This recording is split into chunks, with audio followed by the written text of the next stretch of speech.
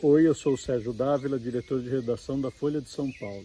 É uma honra para o jornal estar entre os finalistas da edição 2020 do Prêmio Caboré, do Meio Mensagem. Este ano, a pandemia fez as empresas enfrentarem grandes desafios e não foi diferente para a Folha. Mas nós vimos também uma valorização sem precedentes do jornalismo profissional. As pessoas perceberam que a diferença entre fato e fake news pode ser a diferença entre a vida e a morte. Essa valorização se traduziu em números históricos para o jornal. Em abril, o site da Folha bateu seu recorde, com 70 milhões de visitantes únicos, o que representa metade da internet brasileira.